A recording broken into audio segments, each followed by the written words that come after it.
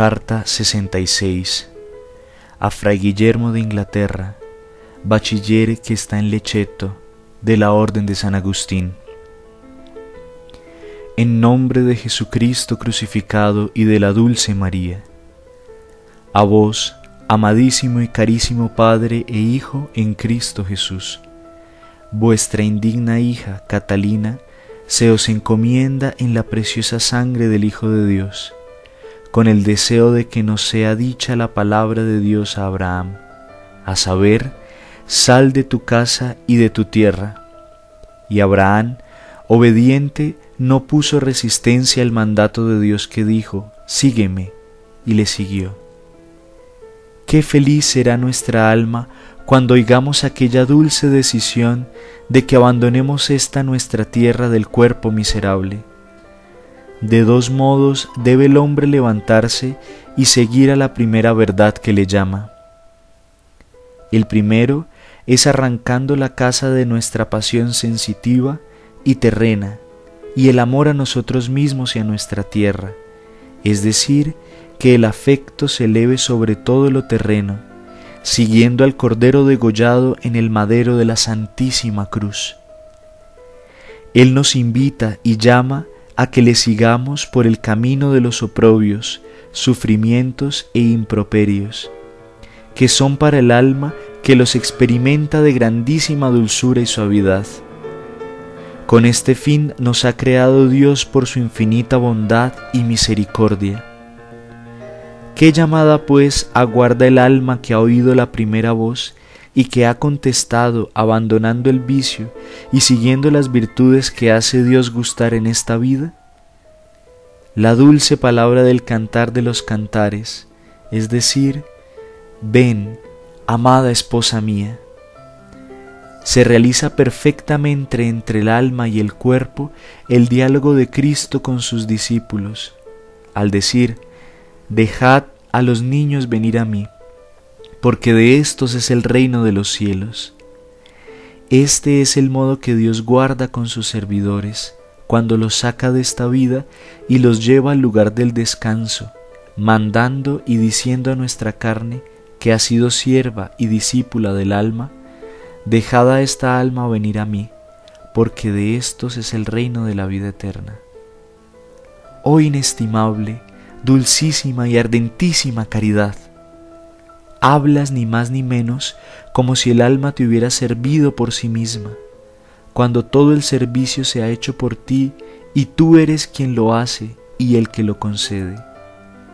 Porque tú eres el que existes y nosotros no existimos sin ti. Así hablaba San Pablo, nosotros no podríamos pensar rectamente si no nos fuera dado de lo alto.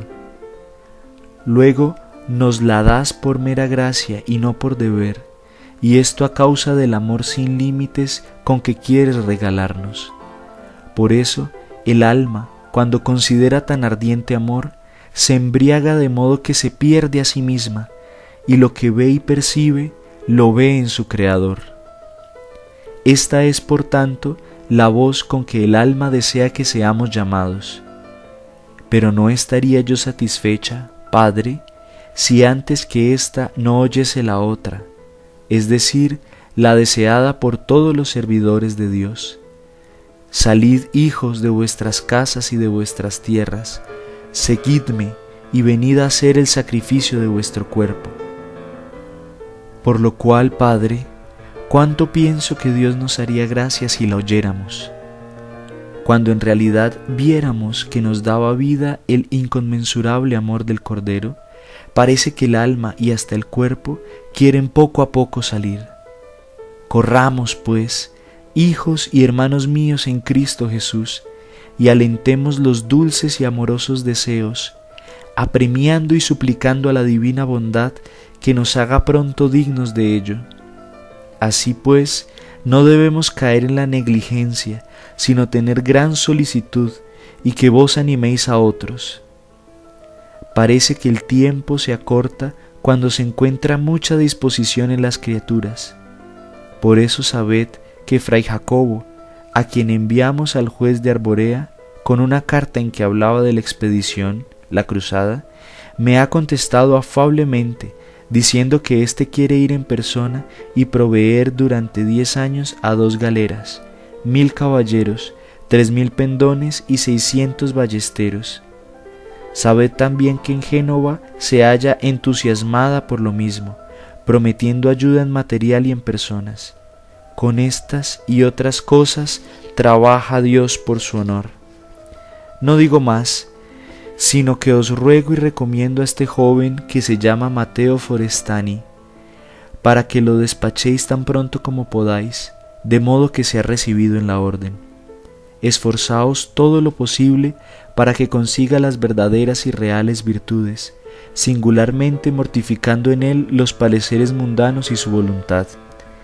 He juzgado mejor que no haya sido tenido que hacer otro viaje, porque podría ser más para distracción de su espíritu que para otra cosa. Me dijo Fray Nofrio que Fray Esteban se hallaba mal y que vos lo sabíais también, y que temíais no tener quien os escribiese.